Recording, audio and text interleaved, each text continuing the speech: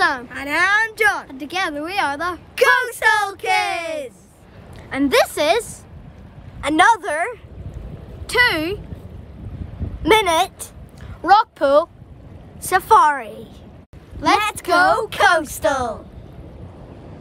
First rock, free fish. The three fish are all rock brownies. One's really huge, so we think she might be carrying babies.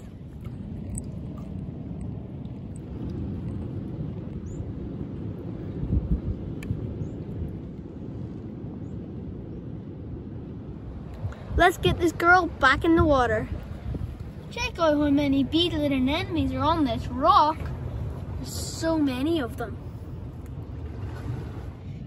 You can see here the eggs of a nudibranch.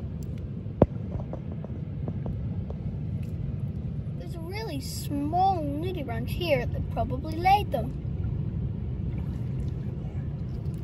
Here's some more. These elegant snake-locks anemones always have the most amazing colors.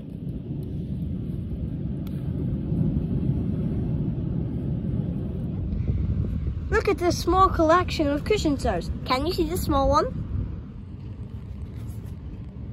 We found three different types of our native crabs. First is the Xantho crab. You can see why some people call him the furrow crab. You can see his furrowed brow at the front. You can also identify him because of his massive claws. You can see right here. They're too big for his body. Next crab we have is a juvenile brown edible crab.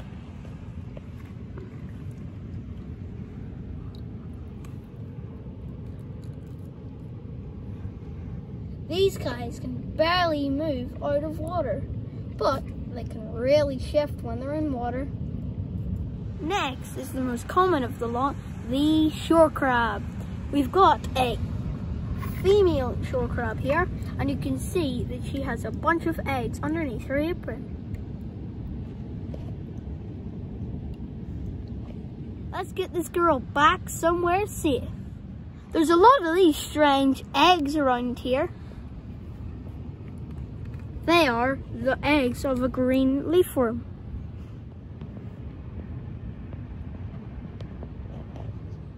When you come across green leafworms, they're really, really long, and they also produce a really sticky, slimy substance.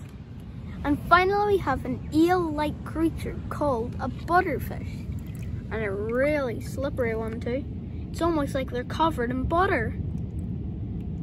That was a really amazing rockpool safari, and I think you can agree it was a beautiful day for it too.